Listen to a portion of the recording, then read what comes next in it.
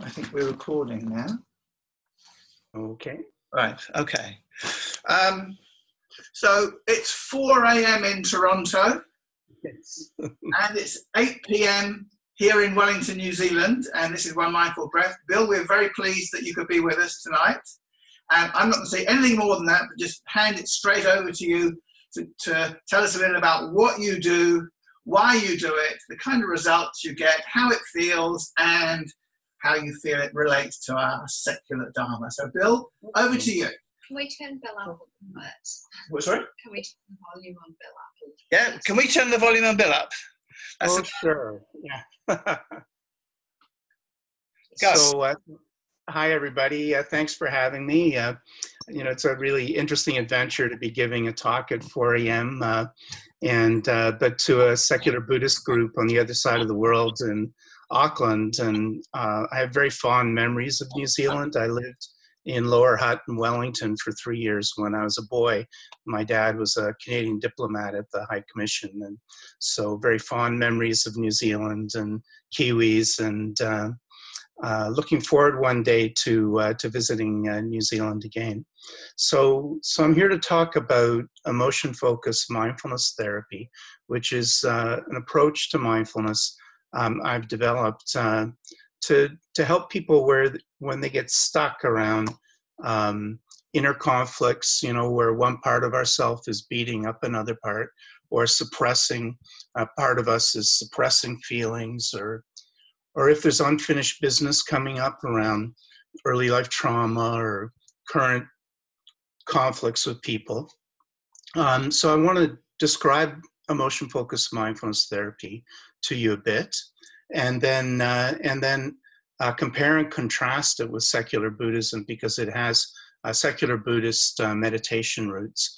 Um, especially when I refer to secular Buddhism, I'm talking about the secular Buddhism of Stephen Batchelor and Winton Higgins and Ramsey Margolis. Uh, so, um, and then, uh, um, and so I'm not, I'm not going to spend a lot of time descri- describing emotion focused mindfulness therapy and all of its complexity, but, uh, but rather uh, focus on a couple of key points uh, that I'd like to share with you um, around how we can view emotions as adaptive, as helpful, and uh, how they can help us navigate our life. And uh, um, and then I'd like to uh, to ground that in uh, well, compare it to uh, Stephen Batchelor's four tasks and show how it relates. Um, and so it has to do with um, being able to approach emotions with a kind of open, non-judgmental awareness that gives us a deeper feel for what's on board, and then being able to respond um, on that deeper sense of how things are going, on whether the emotions are helpful or unhelpful, and to be able to let go of the unhelpful emotions and orient to the helpful emotions.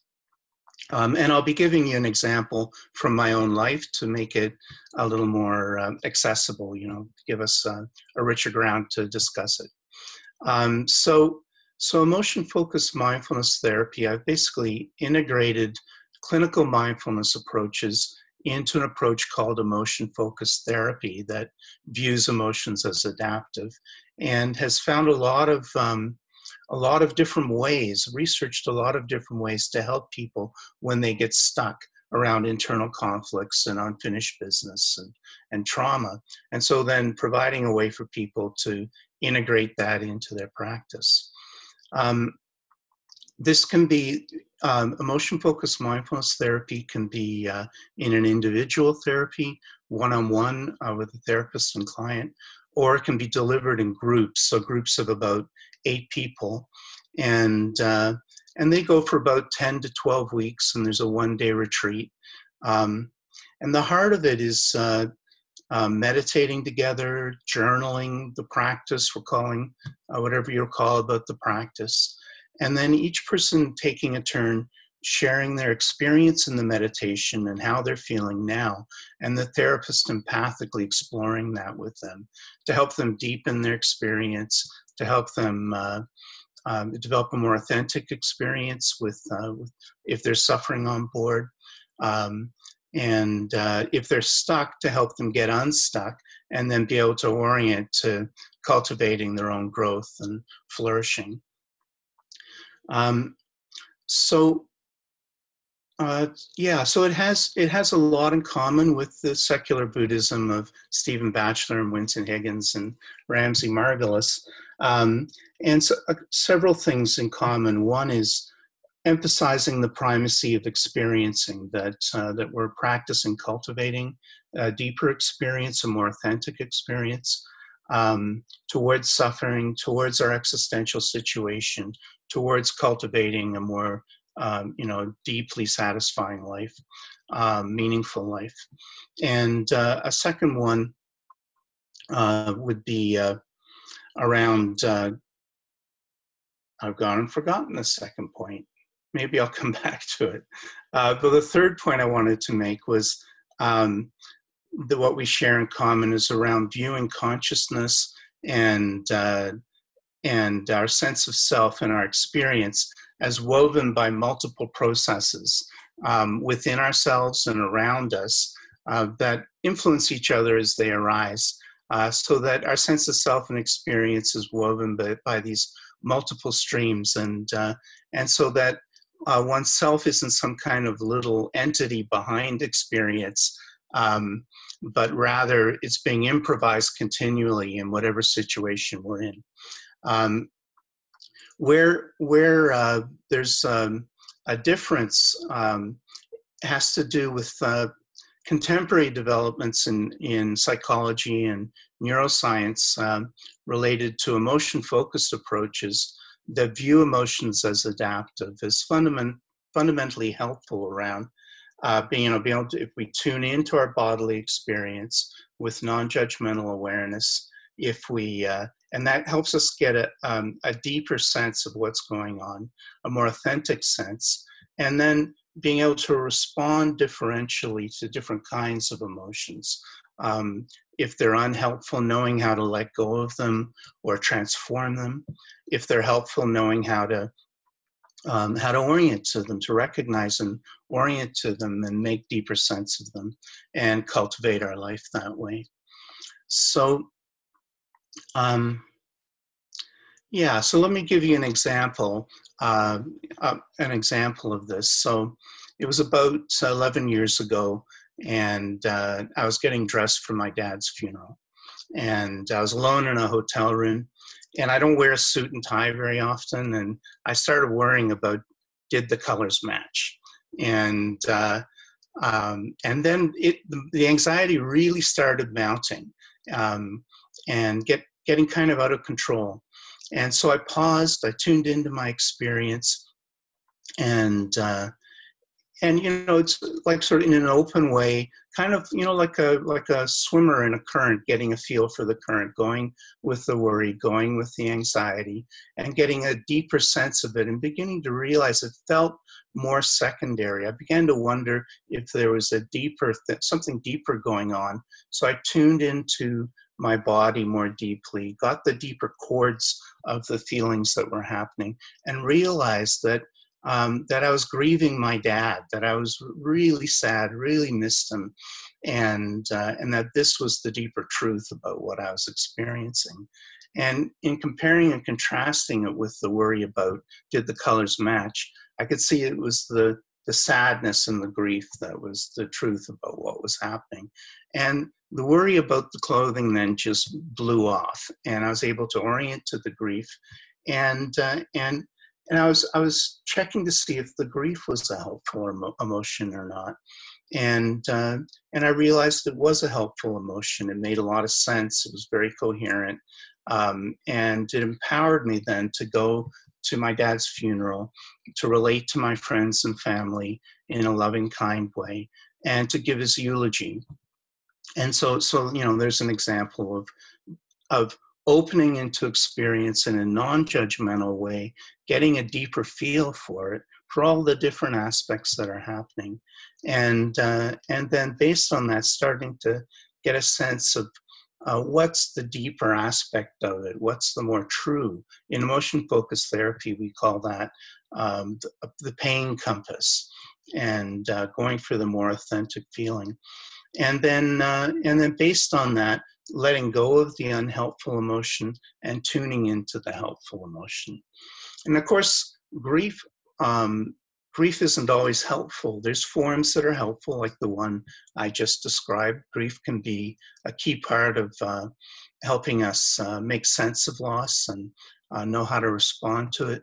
But um, but you can also drop into forms of grief that are, you know, like being an orphan in a storm. My mom had died two years before, and I could have dropped into an overwhelming grief that was much more threatening. Um, and then that calls for a different kind of responses. And um, just a sec. It calls for a different kind of response where we transform the emotion, and we could get into that in the question and answer period if you like, um, about ways of doing that. So, so this this uh, interaction then between an open, non-judgmental awareness and then on the basis of that starting to sort out is it helpful or is it unhelpful and responding to that uh, differentially a lot there's a lot of different forms of buddhist meditation and some of them like zen emphasize the non-judgmental awareness and other ones like classic forms of theravada vipassana emphasize um, getting a sense of whether a state and emotion is wholesome or unwholesome skillful or unskillful, and letting go of the unskillful ones. So those are ones that are driven by um, by craving, eh? uh, by grasping, aversion, confusion, or uh, you know, it's often referred to as greed, hatred, and delusion.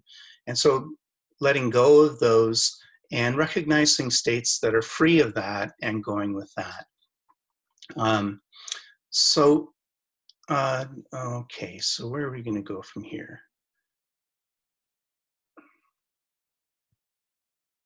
Yeah, so what I'd like to think about now is to kind of ground that in Stephen Batchelor's four tasks and think about it from that perspective. So, you know, that's, uh, of course, Stephen Batchelor's take on the Four Noble Truths.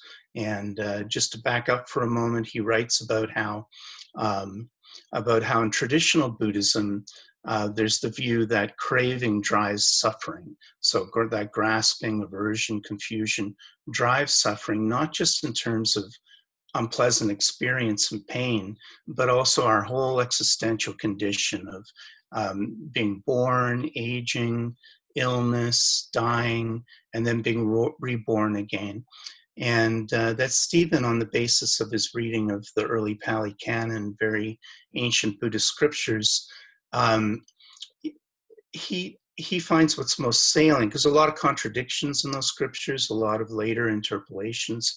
But what he found most salient in it is um, the Buddha talking about not what's traditionally known as the the um, the four noble truths, but four tasks, and the the tasks are um, embracing suffering and developing a more authentic relationship with our existential situation, and then uh, recognizing um, when uh, emotions are reactive and interfering with uh, with a more authentic uh, relationship with suffering and with what's really going on. And uh, so those are those emotions driven by uh, by grasp by grasping, aversion, and confusion, by craving and uh, and then so letting go of those reactive emotions. And the third task then is appreciating and savoring uh, freedom freedom from those kinds of unhelpful emotions.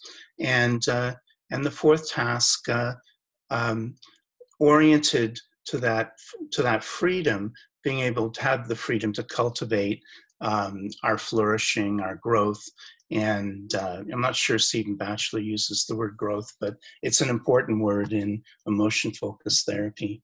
And, uh, you know, so cultivating uh, the Eightfold Path in Buddhism, um, uh, acting uh, based on our ethics and our values. So if we think about that in terms of the example I just gave you, um, I realized I was suffering. I tried to orient to it in an authentic way. As I got a deeper sense of it, I realized that this worry and anxiety about the clothing was reactive, unhelpful and that and uh, feeling deeper into the my experience i realized there was a deeper truth happening and it was this grieving my dad feeling so sad that he was gone and uh, and that that felt more authentic and then um, the uh, the unhelpful anxiety and worry blew off. I let it go and i oriented to that uh, to that more helpful emotion. And so what I'm wanting to highlight in the talk here is that that savoring freedom from um, emotional reactivity uh, driven by craving isn't just the absence of the craving, but it can also be this orienting to a helpful emotion that's helping us make deeper sense of our situation, what we're feeling. Um, it has a lot of implicit information about what we're going through, and uh, and that it's empowering and helps us then um, act based on our values um, in helpful ways where we can cultivate our flourishing. And in this case, going to my dad's funeral and giving the eulogy and, and really experiencing my relationship, uh, relationships with my friends and family deepen as, uh, as a, you know, in the process of that. So, um, so then, so, you know, so I've talked a little bit about uh, you know how practice can involve opening with a kind of open awareness that's when i say non-judgmental we're dropping our preconceptions about the experience. Uh, we're not getting caught up in judging it immediately but uh, developing a deeper sense of it of what's happening in our body coming alive to how our body is always resonating with whatever situations we're in and whatever we're thinking about and then reflecting on that experience in a way that helps us deepen um, an authentic, our authentic relationship with it. And based on that, so there's the kind of oceans of empathy in the practice of going along with whatever's happening. And then there's these uh, these uh, kind of islands of work where we're beginning to realize, hang on a sec, this emotion isn't so helpful and being able to let go of it. And that a key part of that can be actually orienting to a more helpful emotion um, that actually orients to us, orients us to what's happening and empowers us to act in wholesome ways. And that that could involve um, reflecting on a situation the way I did um, in regards to my dad's funeral, or it could be simply thoughts are falling away and you're deepening into a, a wholesome calm uh, that has an alive sense to it perhaps and uh, um, a, a, pervasive kind of friendliness maybe you're noticing those qualities. So um, so so Ramsey suggested that I uh, come up with a question for you uh, to uh, to end the talk, and uh, so I was wondering, uh, you know, if uh, perhaps you might have examples that you feel comfortable sharing from your own practice to your own life, where you noticed an emotion was unhelpful and you noticed a more helpful emotion and you're able to let go of the unhelpful one and orient to the helpful emotion. And and how empowering that may have felt. And maybe i'll just give one more example uh, ordinary example from my life uh, uh, walking to work worrying and you know i had years of psychotherapy myself processing traumas and there was a point in my life where i where when i tried to drop below and see what was there, I would expect really difficult emotions that I would have to process. And then there came a point in my life where instead, dropping down, I realized I'm feeling happy, which was really surprising given the worry about work or whatever it was that was seemed to be pervasive. And a lot of people don't trust happiness, you know, it comes and goes. Um, but learning to actually trust that deeper happiness let go of the worry. It's just like the waves on top of the ocean and go with that deeper happiness. And then you can find yourself walking to work and you're enjoying the, the rain falling in the puddles and the sounds of the birds and, and uh, appreciating and savoring, uh, you know, how embedded we are in the world and our capacity, our deep capacity uh, to be able to trust our inner wisdom and uh, to navigate life. So, yeah, so wondering if you have any examples from your life of noticing an unhelpful emotion, letting it go, and noticing a helpful one.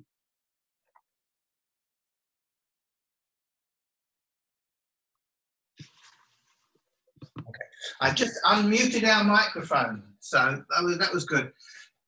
Anybody who wants to speak, I should just say go and put yourself in front of the screen or the or the camera so you can set, Bill can see you who you are. And uh, Ramsey, do we do we want to record this part, or we do we want to turn the recording off? And that's totally up to anybody who wants to Record it. record it. Yeah. Oh, well, we have one vote for record, two votes for record. Okay, Well, mean, who doesn't, doesn't want to speak, we'll just, you know, we'll, we'll not say anything. So, We'll just edit it out. oh, we can't. And you cut. I wish we could. I'm not that skilled. I'll have, I'll have a go. Um, sorry. Hey, well, my name's Alex. Sorry, I, I was slightly outside of the camera's view, but um, not, you're not being shot. nice to meet you. I was what I was Oh, saying. yeah. Um, and I'm also from Lower Hutt, so yeah. So, Oh wow, so anyway, cool. uh, yeah, I suppose I had an experience like that on Monday where I had uh, been practicing a game called Twilight Struggle, which is a board game. And practicing and practicing and practicing because I was determined to beat a friend of mine. And uh, I've been practicing on, on my phone and I've read all the whole strategy guide. Still managed to lose on Monday.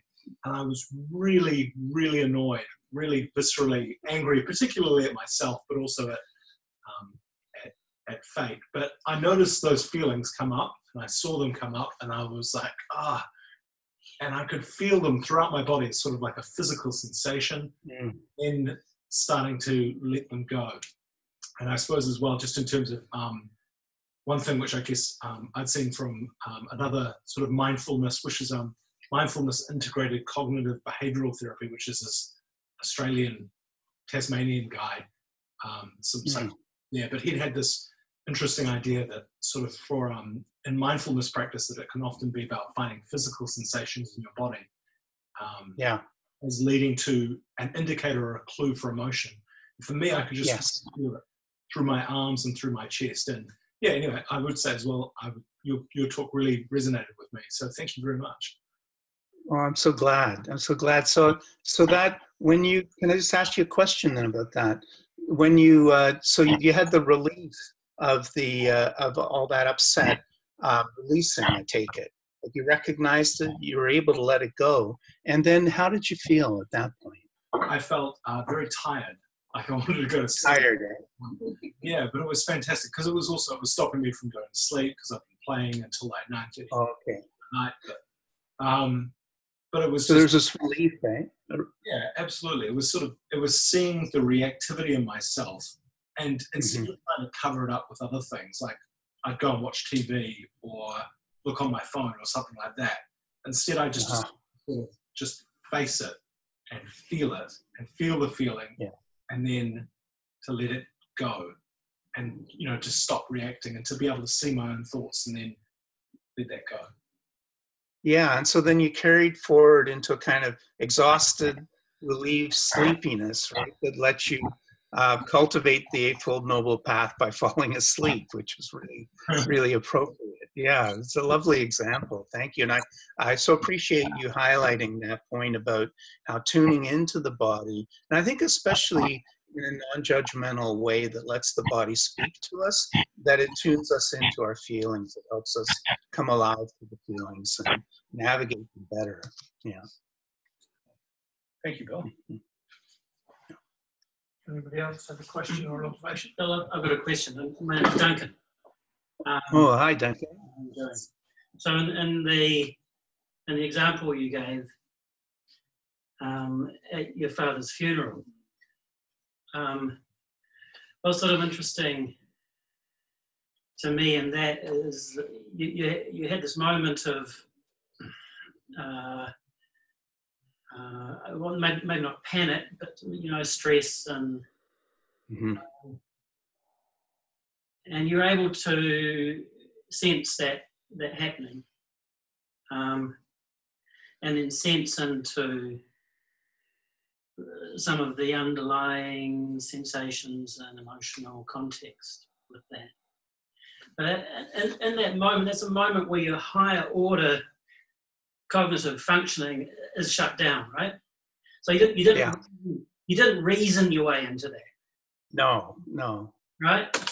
But you, Yeah. there was still some habits of mind that stepped you, maybe not automatically, but in that sort of really challenging moment, there were these habits that were powerfully enough established Yeah. in you to be able to walk yourself to that to that realization and that awareness and underlying stuff. Yes. And I sort of wonder is, is that some of the work that you do in practice where you just rehearse those habits over and over and over again as things come and go so that when these moments do arise it can happen sort of automatically Well, I think it's uh, that's a great question. Uh, I, I think it's fresher than that. So it's something new and spontaneous is happening.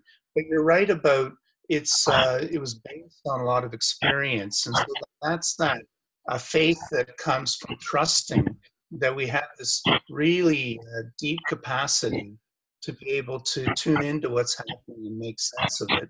And then something creative can emerge from that. It's actually fresh and isn't just based on prior conditioning.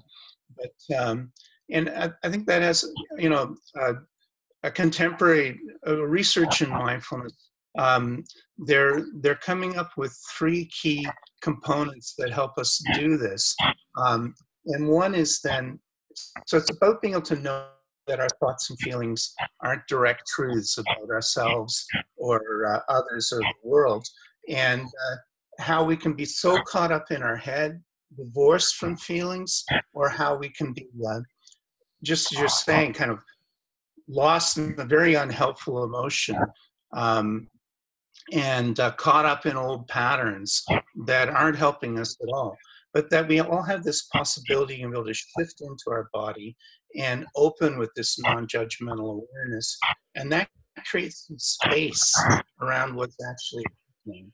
Uh, so you can start to get a deeper feel for what's happening and approach difficult thoughts and emotions and old habits that are just repetitive in a fresh, new way that disembeds us from um, from uh, those old habits, and uh, and in doing so, it lets us disidentify from them. It creates more space, um, and it lowers the reactivity. And then we've got a lot more traction for being able to uh, reflect on what's happening and develop a, um, a deeper sense of what's going on. But what's what's different in, in what I'm uh, doing there and what I'm doing with clients is that we're not just emphasizing letting go of the unhelpful emotions and then orienting on the breath or whatever, but we're actually um, processing the stuck places so that they get free and uh, and helpful emotions so that we can make deeper sense of them when that's appropriate. And like I did with the funeral, for example. And then people, uh, then we discuss it in group and people can integrate that into their practice. And it's wonderful seeing people develop that deeper trust in their own capacity to make sense of things. And the, the key is being able to create a safe space where people feel they're being respected and um, the therapist is really interested, or the Buddhist is really interested in their experience. bill does it feel like to you you're and your people are uncovering a uh, a human capacity that we all have Yes, yeah. It's it feels like we're herd animals. You know, like I remember when I was a younger adult camping uh, in uh, Central America on a, a savanna um, dry forest, and waking up in my hammock and feeling like I was in this golden liquid feeling and rolling over and looking out, and I was in a herd of wild horses that were grazing around, and I felt like I was in the in the the herd mind, you know. And I think this is uh, Evan Thompson's a Canadian uh, philosopher of consciousness and mindfulness. That talks about how mindfulness is an embodied social practice, and we all know as meditators how much easier it is to meditate with other people, you know, and so it unlocks this this capacity for us to go deeper and to make deeper sense of things. A basic human capacity. Yeah. This is such a different paradigm from learning some exotic uh, Eastern discipline, isn't it? Oh yeah, yeah, Uncovering something we've already got. yeah. Cool. Thanks for that. Yeah, and in that sense, the Dharma is how things work, and your practice is finding out what works for you, uh, oriented to what matters to you, and that your helpful emotions are revealing to you what matters to you in each situation. And yeah, yeah, and I think that's the heart of the four tasks you know, that Stephen talks about. I don't, I don't know that he talks about helpful emotions, and you know, I'm, I'm wondering maybe that's something fresh that people can consider, you know, and see, see how it sits with you, see if it helps you with this or not. And the, that's the key point, right? Does it help you in your practice in your life? Yeah. Hi, um, I'm Julia. First of all, thank you so much for that. That was really fascinating, really good talk. Um, just picking up on what Alex mentioned about cognitive behavioral therapy, when you were describing conventional Buddhism and sort of the process of recognizing and counteracting and letting go of reactive or unskillful thoughts. That reminded me quite a lot of the sort of techniques that I use in cognitive behavioral therapy. And I was wondering uh-huh. if you could talk a little bit about how emo- where emotional emotionally focused therapy divides from cognitive behavioral therapy and particularly around the kind of techniques used with mindfulness. Okay. Well, so um, so uh, mindfulness, as described in mindfulness-based cognitive therapy or mindfulness-based stress reduction, which it's based on, um, they create it creates optimal conditions for making sense of emotions and being able to process emotions. Um, but interestingly, it doesn't actually specify uh, encourage doing that. So it's basically uh, it can happen, but the practice is basically one of undifferentiated, non-dual um, awareness, where if a difficult emotion, you're attending to current experience, you're letting go of thoughts about the past or the future. If a difficult emotion comes in, you approach it, um, you make you reflect on it a bit, and uh, you see that it's not a direct truth about self other or world and you let it go and then you return to something that's more oriented to the present moment. Um, emotion focused mindfulness therapy. We're orienting to a different kind of idea about the present moment. And the, the idea is the present moment is uh, you know it's about one to ten seconds long and then working memory um, chunks that together. So one to ten seconds like a musical phrase or a phrase in a sentence. And working memory chunks this together so that we can hear a melody or that you can follow the paragraph of what I'm saying. And that that current moment's an unfolding wave or waves of emotion, feeling, and thinking and bodily experience. Um, and uh, it comes full of associations from the past, all this previous condition, conditioning, which might be helpful or unhelpful, and emotions incline us towards the future. So in Buddhism, you know, this is called mental formation. So, so this whole body of conditioning, which could be more or less helpful, right? And uh, coming alive to our past conditioning and making sense of how we're inclined, we can let go of the unhelpful and orient to the helpful, you know? So, um, so that there's lots of room then. So there's a whole invitation in this form of meditation to think about the future, to feel free about reflecting on how you're feeling inclined. And that might be like going to the funeral and giving the eulogy and feeling empowered to do that. Or reflecting on the past. Like, I mean, say I had dropped into a feeling like an orphan in a storm. Um, and uh, over really overwhelmed. And uh, um, well there, there's different ways of responding to feeling overwhelmed. You can bring something pleasant or neutral into the foreground of your awareness focus on it and let everything else fall to the background. But another way that's being developed in emotion focused therapy is the idea is you've fallen you've dropped into you get triggered into a mode that we got conditioned into early in life. These emotions that are full, you know, that are really intense, that are overwhelming, that paralyze us and have this edge of helplessness about them, they're not information about the current situation. They're conditioning from the past. They're full of information um, in the past. And so it's like that young part of ourselves is uh, living in the past and is organizing us and we've fused with it. So there's many ways of processing that out and it's part of what we do in these groups and then people can integrate that into meditation in their life. But uh, a really helpful one, uh, which you might consider, you know, any of you that um, I think we all struggle with these kinds of emotions. They're the deep chords of our suffering and where we get stuck.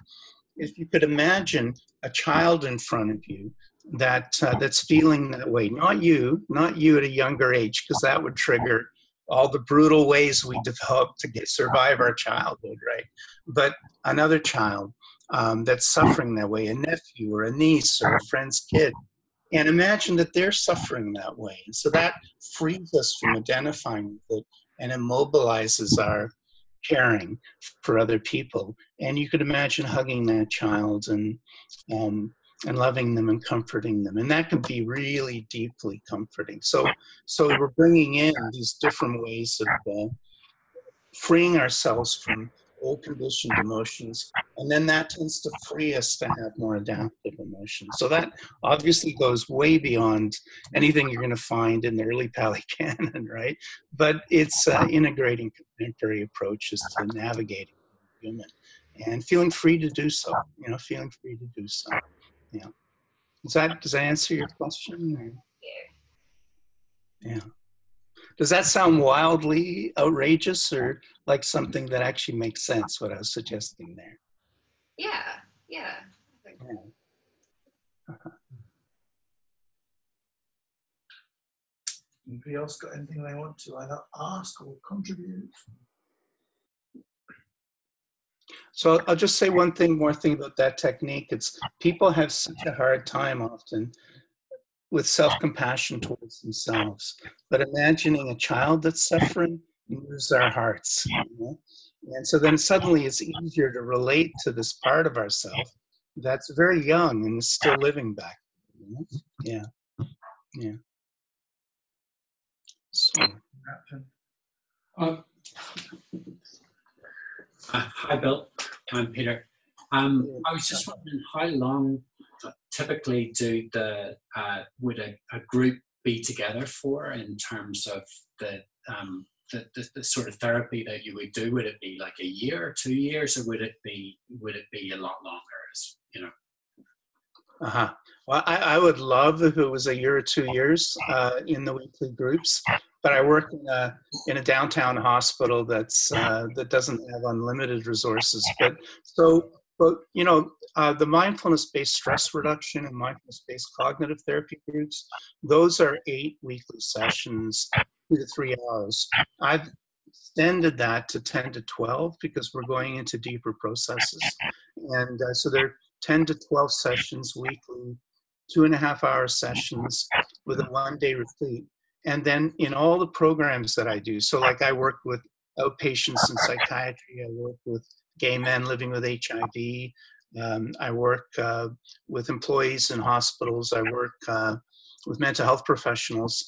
Um, so after that training is over, in all of these programs, there's continuation programs that people then uh, can participate in. So with the hospital employees, those are weekly sessions at lunch, and uh, with uh, with my uh, clients in psychiatry, um, those are monthly sessions. And uh, last night we had one of the monthly sessions, and one person was saying she's been participating in those uh, since I started doing outpatient psychiatry groups so for for uh, since uh, it's like five years now, five years. So it's a forms of community of practice, and this was one of my intentions in developing emotion focused mindfulness therapy was I thought it was time in in these clinical forms of mindfulness um, where we could um, previously people had to they would get this secular um, clinical training and then they were told go find buddhist teachers and go on buddhist retreats which is a wonderful idea but a big culture jump for a lot of people. And uh, and so i thought i'd develop an approach that could provide a way for people to develop mature mindfulness practices fully integrated into the approach they'd learned it in. And so these uh, continuation groups are very important to me and very uh, dear to my heart. Yeah, dear to my heart. And, and I, I think it's important for mature mindful people who have a, a lot of experience in mindfulness.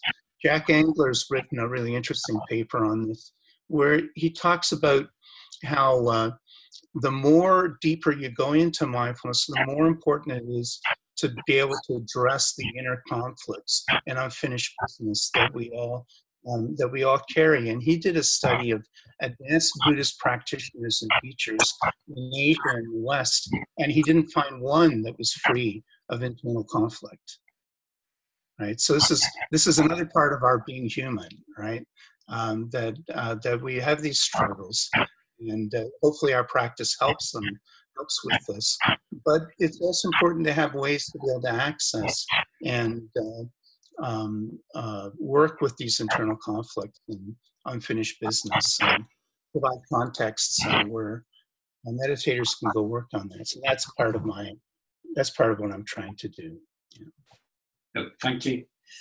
Uh, hello, Bill. This is this is Ramsey here. Uh, I've, I've got Hi, an observation and a question. The observation is that um, Stephen Batchelor often teaches alongside Martine Batchelor, and they have very different styles. One of the things that Martine stresses is what she calls creative awareness in meditation. Wow. And I find, think that's a concept that fits well with what you're trying to do. Very and, much so, very much so. And it's at the heart of emotion focused therapy that we have this freedom to be creative. Yeah. Yeah. yeah.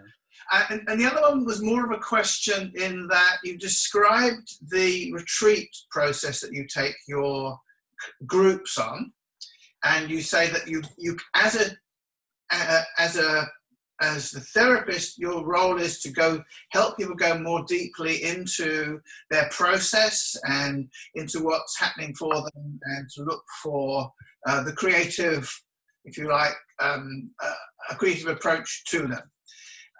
Mm-hmm. It occurred to me that in a way, this is something that um, I've learned with Linda Modaro. Ah. I was a teacher who was schooled by Jason Siff in his um, uh, recollective awareness meditation. And part yes. of the process is also you when you're on retreat, when you're working with people in group. We don't have any groups in New Zealand, but when Linda, I was working with Linda and within, we had online groups. It would be a it would be a case of people going more deeply into their process and um, using the meditative process to explore that. I just wondered if you had much thought or connection about either Jason's ideas or Linda's or anything. Yeah, well, uh, I uh, I did uh, train with Jason for years as a teacher, and uh, and I've practiced with Linda as well. I attended retreats with them. I think when when I was training with Jason, his emphasis was more cognitive, and uh, uh, he did bring psychodynamic therapy in. Um, and uh, and what I introduced uh, to that practice network was this orientation towards emotions, and uh, and also uh, how to engage with people empathically using the, um, the these kinds of approaches. Where, in contrast to psychodynamic therapy, the therapist is thing. Um, both are attuned to clients, but um, emotion focused therapists, uh, and there's a whole uh, group of humanistic therapies that underlie it. Um, they stay more actively engaged with clients. They'll uh, they'll reflect what people are saying, so people know that they're being listened to, and they try to reflect in ways that help people get more in touch with their feelings and that uh, really help people make deeper sense. So there's this a continual process on um, uh, really getting a sense of what kind of emotional process people are in and helping them uh, deepen their engagement in that processing. Whereas when I was training with uh, with Jason, the emphasis in the, you know, what he would call a meditation interview is um, is on what happened in the meditation itself, and it's only when the person was feeling really overwhelmed, that it would become more a focus on what's happening now. That, that might also come in.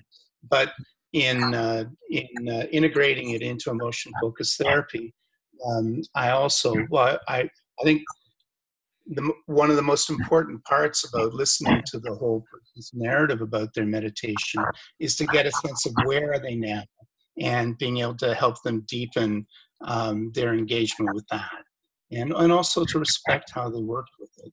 So, uh, so there's more of an emphasis on current experiencing and processing that. I, so uh, I, am not, it sounds like Linda's gone more into uh, this uh, emotion focused approach, which uh, I think is a really good idea. Yeah.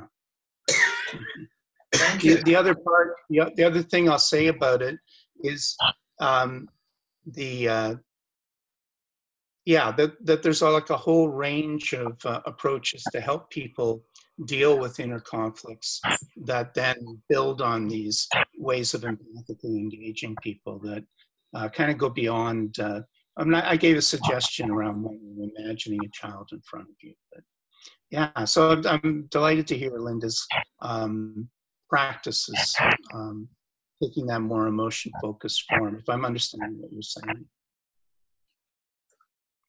uh, thank, thank you, Bill. That was very useful.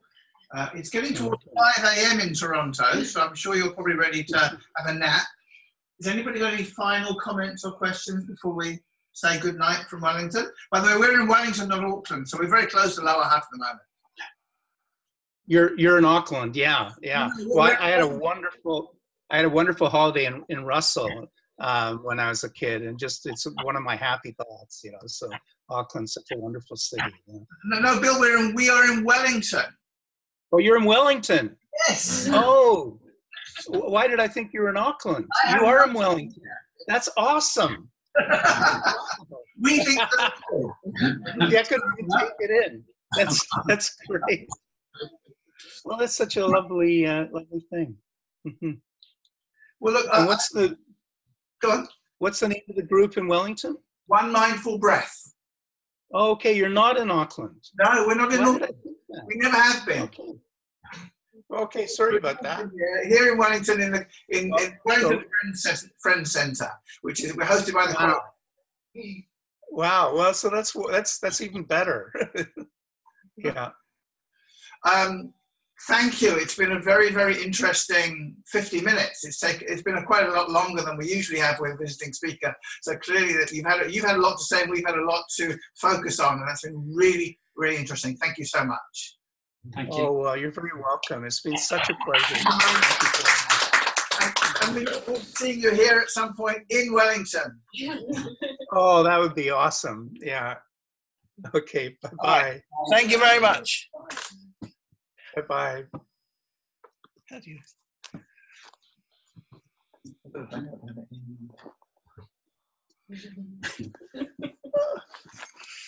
Sorry, but I'm just trying to have find out how to this program okay. Okay. Uh, bye. Meeting. Exit full screen. and